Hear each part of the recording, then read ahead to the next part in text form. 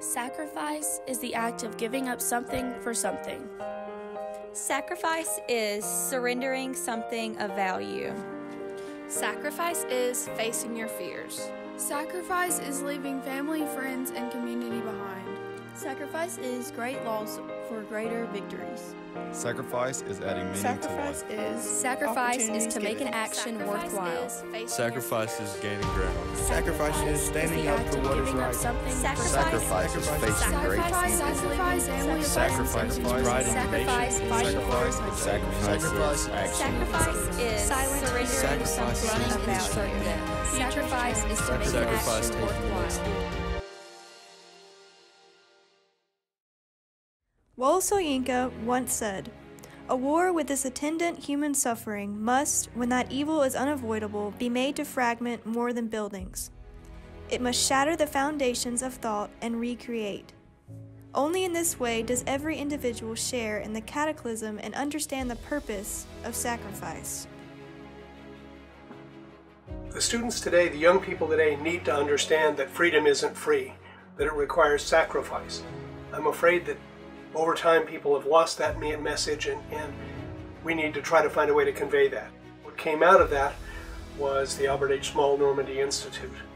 And the idea is to have students study about World War II and about the Normandy campaign, and in particular, learn about one individual, preferably from very close to where the student grew, grew up, um, so in their hometown, and somebody who has a background much like theirs, would have had the same experiences that they did growing up, but who, because their country called them, put their own plans and hopes and dreams on hold, joined the army, and went off to fight in Normandy to oppose the tyranny that was Nazism and Japanese imperialism on a global basis.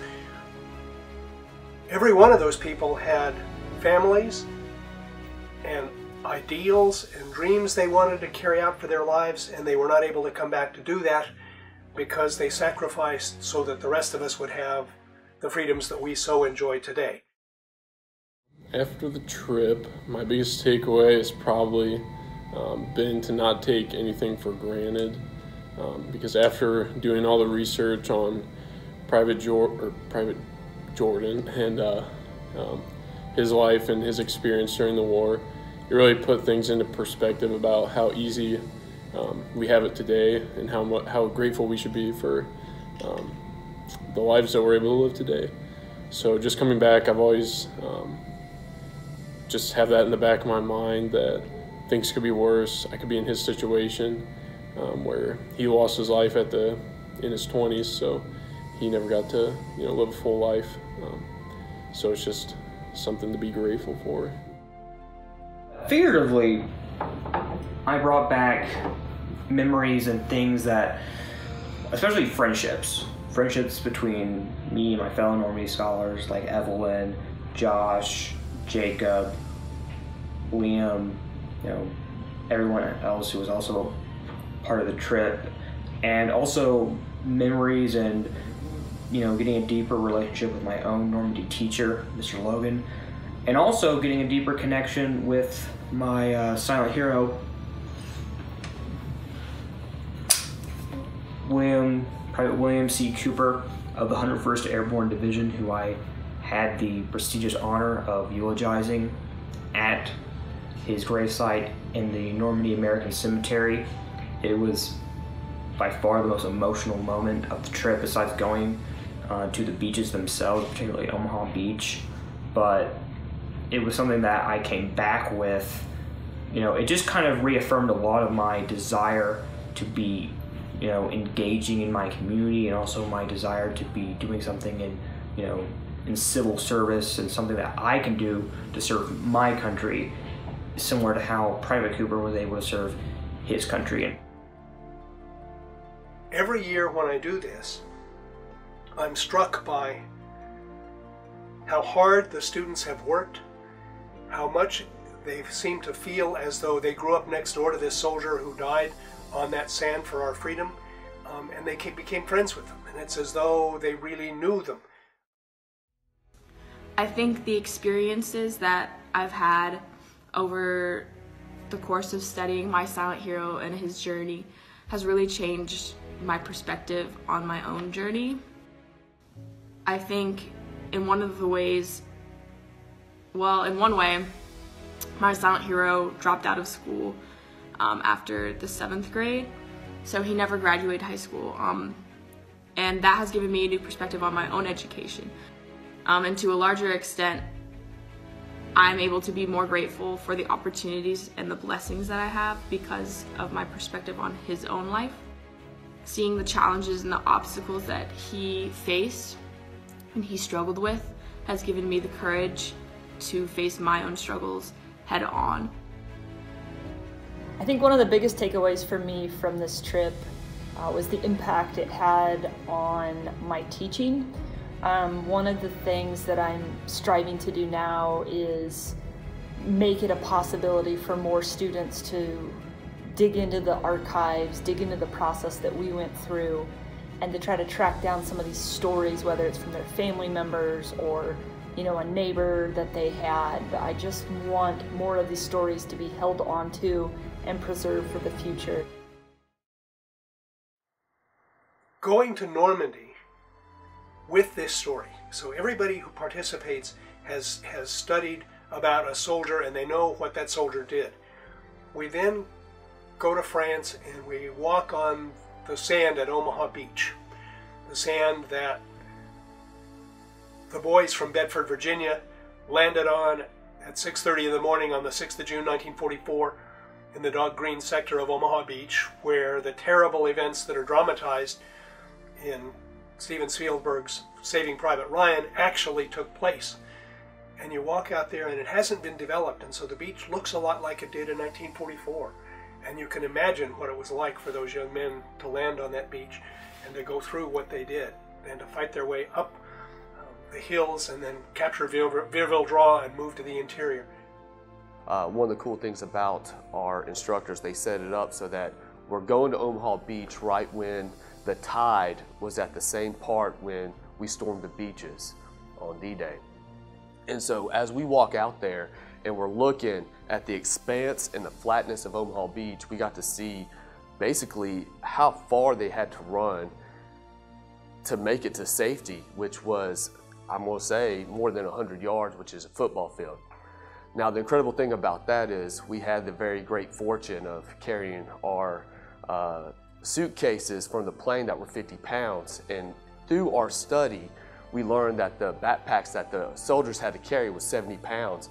And so to sit there at the beach, reflect on and understanding that they're carrying 70 pounds on their backpack, which was our suitcase on our backpack, having to run up this flat ground with no coverage, with German bunkers, uh, with full of artillery and guns firing at them, how impossible this feat was just the moment of sitting there and looking at, at, at what was done was amazing. We go into the cemetery and we lay a wreath and they play taps in the Star Spangled Banner and then each student gives a eulogy for his or her soldier standing by their graveside and it's enormously powerful. That experience, walking that sand and then being in that cemetery with those immaculate white headstones, imposes on people the importance of this message that no other way possibly can. The German cemetery, which is uh, for me a very om ominous location due to the fact that they don't have any tombstones. They have in random locations these three crosses, and the colors that they use Brown, they don't use black. right. They don't use the, the white or the gray, which is typical of what you see um, in graveyards. But they use this very brown, blackish stone, and in the middle you have this giant hill with a statue. And one of the noticeable things about the statue is that they're angels. And typically, when you see the angels, the angels are looking down, guarding the dead. These angels are looking up and away from the dead. And it's almost as though they're looking in, in being ashamed of what was happening. Yeah in the German cemetery where they have their uh, location for their chapel, at the very top is decorated with one giant word, Pax, which means peace. The whole time you're walking around the cemetery, it feels like you're looking down on the soldiers. Um, and it was very upsetting. Um, it was very quiet on the bus when we all got back home because um, you come out of like the British cemetery um, and you know there's flowers everywhere, everything's light and um, and just there's a sense of respect. But coming out of that one, it just felt wrong. The most impactful moment of the Normandy Institute for me was our day in Normandy American Cemetery. When we walked into that cemetery, I instantly realized two things in ways I just never quite had before when we were conducting our research at home. The first was that this was the final resting place of my silent hero, the man I had been researching for many months, uncovering as much as I possibly could about. And so then I knew it was my responsibility that afternoon to give him the eulogy that he deserved, and to honor him in the best possible way that I could as a Normandy scholar. And I also realized that every marble headstone that we saw that afternoon signified the life of a man who was every bit unique for my silent hero, but a life that was every bit complex and meaningful and significant as my silent heroes. Going to the U.S. cemetery, you think you're ready for this, but when you come in, we're all kind of, you know, we're quiet. We know we're about to pay our respects. But as you enter into the cemetery, it's overwhelming the feeling that you get because you actually see the expanse, the loss. And I was standing in the atrium and looking out across those graves was just absolutely overwhelming. Um, and then having to deliver on, on processing the dead, and I'm talking about how they moved these men there and how they came to rest there. It, it was one of the most overwhelming things I've ever experienced. And like for me, I'm not an emotional individual, but as she's delivering her message, I, I can't help it. I, I, I start crying uncontrollably. And it wasn't just us. I mean, everyone. It, it hit everyone extremely hard. it became very real and serious. And what then- sacrifice means. Yeah, and once you start walking down that brick path, you're going by like rows and rows. And we actually, I was the first eulogy, so we came from the atrium and then walked all the way towards the back. Um, and it just to see the huge amount of numbers was, I can't even describe it. Overwhelming. My soldier's body was never recovered, so I had to recite his eulogy beside a wall of hundreds of other names of other personnel whose bodies were never found. Um, this was extremely hard on me.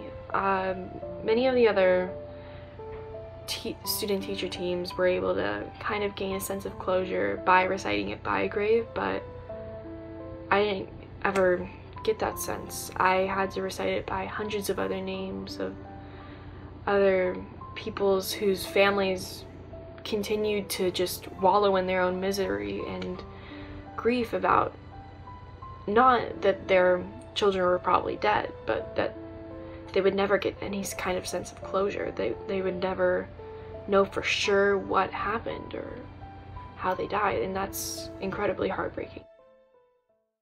I cannot, no matter how much I wish, to put you all in 747s and ship you to Normandy, but I can tell my story and my soldier's story. Because his story matters, all those buried there or here, in fact, matter. They are and have been forgotten. In this world today, we have lost sight of the sense of purpose and drive those men and women had.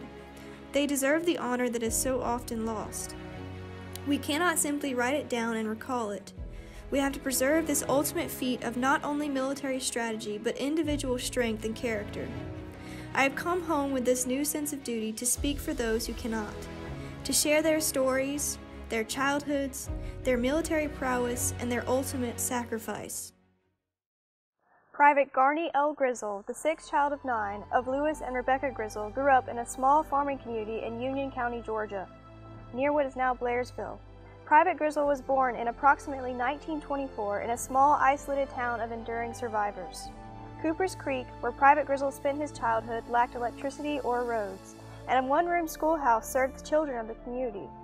Private Grizzle was forced to leave his schooling after the third grade to farm beside his father and siblings, and that became his life before the war. However, a storm was looming over the South, and it was not the much needed rain. The Great Depression had hit the small town with a devastating force. Children dropped out of school to help with the crops. Every hand was needed to put food on the table. Farming alongside his father and younger, younger siblings, struggling through the Depression, this was his childhood, to be summarized as a hard life of dust and meager meals. In addition to the difficult conditions, after dropping out of school, Private Grizzle was met with tragedy. His mother, Rebecca, passed. And then it was his father and his siblings that remained in the house without the matriarch to balance meals between the table and the market. In early 1942, Private Grizzle was drafted and assigned to the 2nd Division of the 23rd Infantry Regiment.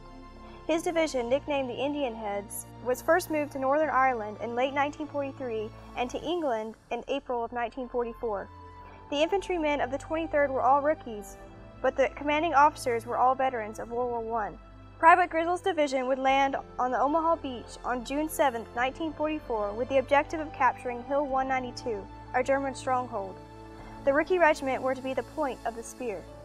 They would march 20 miles inland and 4 miles east of the war-torn town of St. Lo. The hill that loomed ominously before them was guarded by a 16,000-man German parachute division. It was one of the most heavily guarded areas in the American portion of the front. The company saw small battles along the way, but it was clear this would not be a new form of combat. Their old-fashioned Springfields, left over from World War I, just would not cut it anymore. Bill Dudis, who served in the 38th Infantry Regiment alongside the 23rd, also initially carried Springfields. The disadvantages of a bolt-action rifle in the close combat of the hedgerows quickly became clear. Dudis stated, and I quote, we threw our Springfields in a heap and picked up M1s. Private Garney Grizzle was killed in the German counterattack on June 13, 1944. It was in this battle that the American forces retreated in defeat and Private Grizzle fell. He was shot through the head and killed instantly while defending his company on Hill 192. By July, the 2nd Division of the 23rd Regiment would succeed in taking the hill, establishing a much needed hole in the German front that Operation Cobra could utilize, making Private Grizzle's sacrifice valuable and awarding him the Purple Heart. Through the Grave Registration Services and the War Department, Private Grizzle's father was notified. Lewis Grizzle decided to leave Private Grizzle's body overseas to lie in the Normandy Cemetery. It was Private Grizzle's sister, Lizzie, who requested information on Private Grizzle's whereabouts and the details of the death, burial, and care of the cemetery. Lizzie was told of the victory that led to the liberation of Hill 192 and most importantly of her brother's contribution to that vital victory. Each of us has been touched with a knowledge more personal than any learned from a textbook. We have stepped into a life and we have stepped out breathing hard with pounding hearts and shimmering eyes. Wisdom is a powerful thing. Our wisdom is a new definition of sacrifice, a new definition of what it meant for these soldiers, for Private Grizzle, to stand up for the United States against death itself. That wisdom is now ours, to be carried and more importantly shared. Because what we hold in our hearts, our hands, and our minds is a powerful message of a lifetime, a sacrifice, and a victory. Coming home, I was in absolute surety of one thing. Private Grizzle was a silent hero among thousands that lie there in the Normandy American Cemetery and national cemeteries across the nation. I will forever tell his story. Why? because I am a Normandy scholar.